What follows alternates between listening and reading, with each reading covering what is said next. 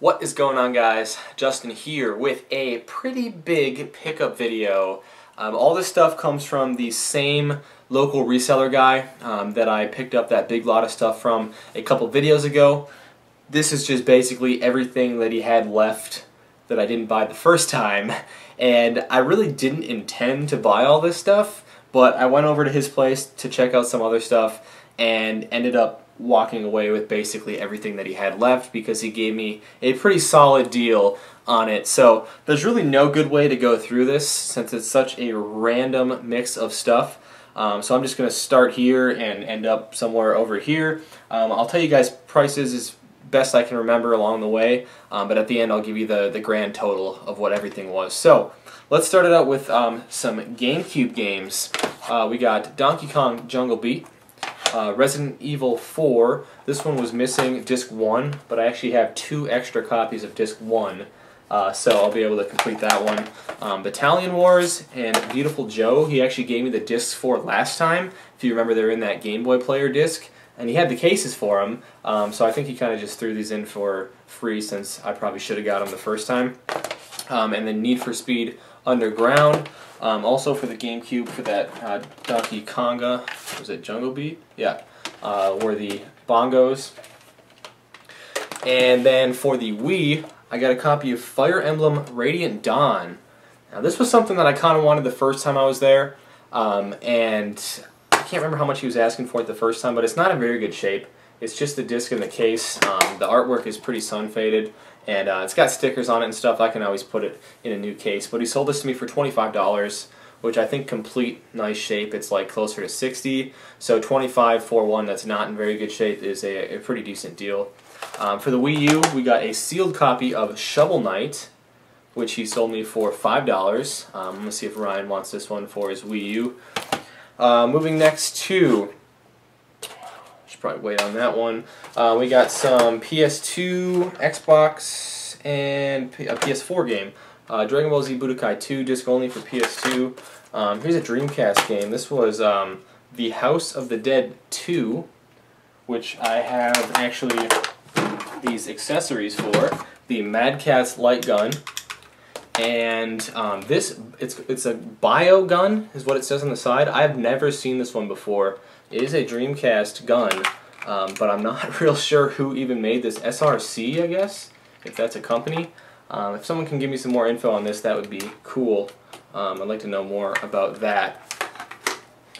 Um, moving on, though, we got uh, Dragon Quest Heroes for the PS4. I think he sold that one to me for $5, even though I don't have a PS4. Um, I think a couple of these were case, yeah, the case for Voodoo Vince. There's no disc in there. Um, and I believe all three of these were complete. Uh, Capcom Classics Collection. Uh, the Nightmare of Druaga. I've never seen that one before. And um, Namco Museum for the PS2. Um, a couple other Dreamcast games had here. Um, nothing special though. Snowcross. I think I might need that one for the collection though. NFL 2K1, Tomb Raider: The Last Revelation, and uh, Nightmare Creatures 2. Got a bag of memory cards and a few other random things. There was a couple Game Boy games in here. Um, for the Game Boy Advance, I got Sigma Star Saga and Fire Emblem The Sacred Stones. He sold a pair of those to me for $10. And then, um, I'm not going to go through everything in this bag, but I'll show the other game at least, which was Super Mario World, Super Mario Land 2. Six golden coins. Um, I got a purple Game Boy Color from him with the battery cover. I think that was $10. Um, this was free, which was cool he gave to me. Um, Zelda figure. Maybe that'll go up here somewhere find a, find a spot for it. Um, this was the one I uh, didn't show earlier, Lethal Enforcers. Um, and the reason I didn't show it is because I wanted to show the guns that I got with it. Um, both the Justifier guns, um, the blue one and then the much harder to find pink one, the second player controller. Um, I believe I've had this one before. Maybe it was for the Sega CD. I think they're the same controllers though for the Genesis and Sega CD. So I guess I have owned them before, um, but I haven't had the, the pair of them in a long time. So that was that was pretty cool to go with the uh, Lethal Enforcers.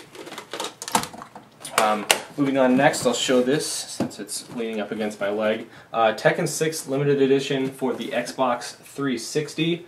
Um, I haven't actually opened this up yet, but he said everything was in there. The, uh, the joystick, the game, and I think there was like an art book or something. Um, he sold that to me for $20, um, even though I don't really intend on keeping it. If I had a bunch more room, maybe, because it is kind of cool, but I was never a huge Tekken fan, so I'll probably find something to do with that. Um, but moving on here, I got a joystick for a Sega Genesis, an arcade stick. Um, he sold this to me for $10. I didn't really want it, but it was like one of the last few things he had left, so I was like, I might as well just take it at this point. Uh, so $10 uh, for that. What else was in here? There's a Dreamcast mouse, which I don't think I have one of these. Um, that was cool. Um, there's a Wavebird controller in here. Um, it does have the receiver, and it has the battery cover, but the clip on it is broken, so it's buried in the bottom there somewhere. Um, I'll either have to get a replacement for it or just do something with it as is. Uh, what else is in here that's worth showing? A couple uh, Super Nintendo controllers and a Super Nintendo um, AC adapter. Um, those were all $5 each, so 15 for those three. Um, the rest of the stuff in here was just kind of throw-in gimmies that I don't really think I paid anything for. Um, PlayStation Move controller, this off-brand Dreamcast controller, PS2 controller. Um, that's all I'm going to show out of here. There's a couple random cords and stuff down there. Um, but on to some of the, the better stuff here, this being one of them. Um, this is just an empty box, so just a little disclaimer there. Um, but it is in really nice shape, and I don't have this Super Nintendo box yet. Um, let, let me take a look. It's it's pretty crispy. The only flaw is, of course, someone had to cut out the barcode on the back down here and probably mail it in for some rebate or something. But yeah, $139 Kmart sticker still on the front there. I'm not really sure what I'm going to do with this yet. Like I said, I don't have this Super Nintendo box yet, and I could pretty easily, I want to say, find a nice system, a couple controllers, the Super Mario World, find some instructions or something to put in here to complete it. So I might be doing that. Um, might make that my next goal to uh, complete that very nice condition Super Nintendo box. I paid $30 for just the box. Um, little steep, a little more than I would normally pay for an empty box, but that one was in really nice shape. I mean, the styrofoam and the, everything is, is still in there, so I didn't mind paying that. Um, I hope to complete that somewhat soon anyway. Um, I got this for a dollar, a Game Gear, um, which he said worked, but I, you know, I think 10% of the Game Gears I've ever had worked, so it came with a copy of Sonic in the back, but for a dollar, even just for the game, it was worth taking a chance on. Um, and let's see, a PS2 Fat System, um, which he gave me for, I think, 10 bucks I paid for that. Um, onto some Dreamcast stuff here. Um, he had another Dreamcast system. This was the one I originally saw when I originally responded to his Facebook post. Um, I guess he had two of them. So I got one from him in the last video I got, um, last pickup video from this guy. But here's another Dreamcast system there. Um, he had, see, I got the cords for it. And one, two, three, four controllers. And there was uh, some other Dreamcast stuff in here as well. Um, actually, two Dreamcast keyboards. Um, this one here, which was just kind of the loose keyboard, um, which I, I already have one of these box, I think. Yes, I do. I don't know if mine is... Th these are the SegaNet ones. Um, if they only made one, then that's the one I already have, but I don't recall mine saying SegaNet on it. I'll have to double check on that. I'm, I'm probably wrong on that. Um, but there was another one in there as well that came in this um, cardboard case here, the plastic. Um, I think it originally had like a slip cover over it. Mine has like a, you know, slides on top of it. Um, anyway, coming down to the end here, a complete in box PlayStation 2 silver system, the Slim. Um, I believe that was complete in there. I got a silver controller with it, both the cords, uh, probably doesn't have the instruction manual or whatever, but the box is in decent shape. So I've never I've never had a boxed silver one before. And then finally, um, I got these two Assassin's Creed Brotherhood uh, collector's editions. There's one of them there, and this is the exact same thing here. Um, he sold these to me for ten dollars each. I don't really have any intention on keeping them because I don't really collect for the PS3, um, and if I did, it wouldn't be Assassin, Assassin's Creed stuff. Um, but $10 each for them was a pretty solid deal. So I know I didn't give prices for each individual thing that I bought. There was just too many. It was all little deals that added up, you know. So it was too much to remember.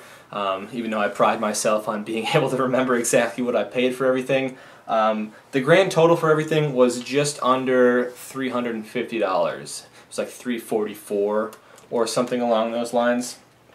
Um, and so, well, it is kind of just a random mix of stuff. I think that was actually a pretty good deal for everything. Um, I would say, if I had to guess, it's probably about closer to 60% of retail. Um, usually I like to be close, um, more around 50, but seeing as you know he did know what it was all worth and was willing to part with it for that price, I think it was a pretty good deal. So I'm sorry it was just kind of a, a random mix of stuff. There was just no better way to, uh, to show everything.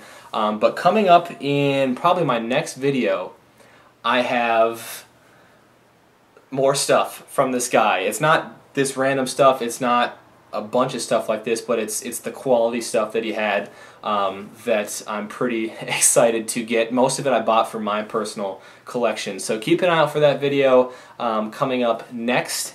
I want to thank you guys for checking out this video, and until next time, take care.